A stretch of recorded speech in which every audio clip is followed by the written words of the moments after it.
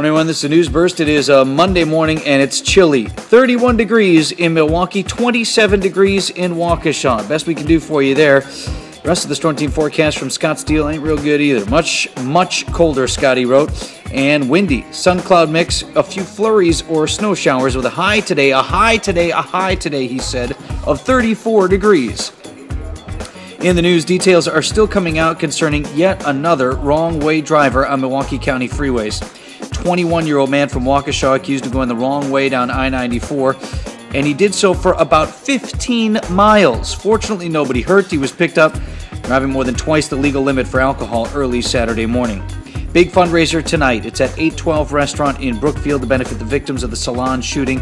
Zina Haughton, Maelyn Lind, and Cary Robuck all left behind children. And proceeds from the event tonight will go to benefit those children. Tickets are sold out.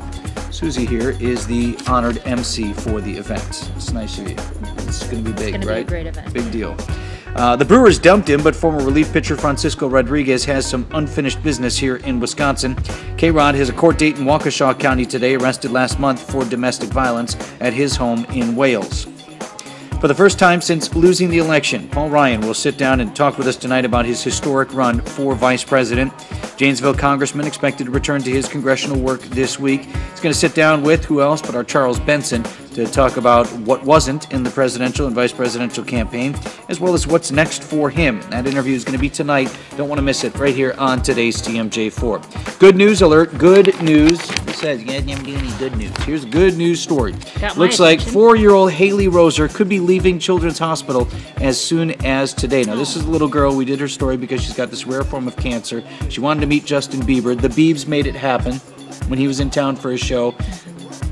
Not for nothing. Anybody who's had a sick relative or someone close to them, you know that when you're feeling positive and feeling good, that can have a big effect. So she could be going home from the hospital today. How great. That is good. Good news alert. I told you, right? I believed you. All right, sports. Bucks at Philadelphia tonight. Good news alert again. Good sports news alert.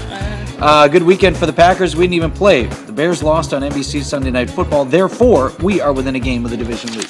Good news. Good news. Good news.